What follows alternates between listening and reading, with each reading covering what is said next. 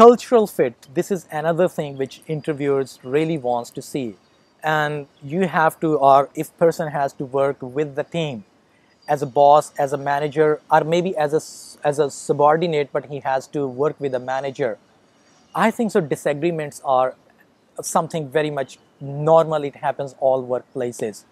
But most important thing is interviewer wants to see that if this candidate has any disagreement with the manager or senior, how to handle that disagreement. So if they will ask that tell us some situation when you had to disagree with your manager, how you handle that situation. So it's important to be able to give feedback or let the manager or whoever you're having conflict know that there is a problem. Don't let it lie. Uh, don't let the problem continue. So ask to speak with the manager or whomever you're having the problem with in a quiet room. Ask if they've got five or ten minutes to speak confidential.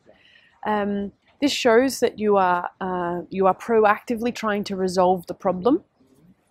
Um, if you want to have a mentor or a third person in the room to make sure that it's neutral, you, you should uh, you should be you should feel welcome to be able to do this. But it's important to uh, nip the bud, as yeah. they say, um, quickly. Don't let the issue drag on, but it's important to maintain confidentiality.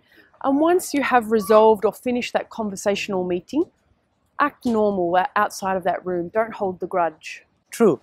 Communication is very much important thing.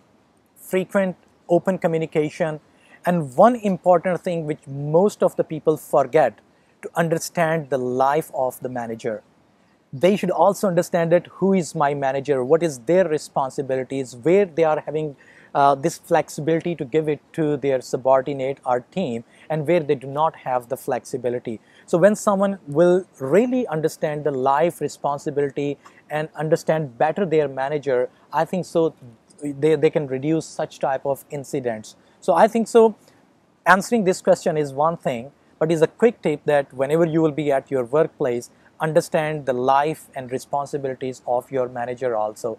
And this will really, really reduce all of your uh, conflicts between your teammates or maybe with your manager. If you did not subscribe this channel before, just click the subscribe button and press the bell icon so that you can get notification of all the future videos.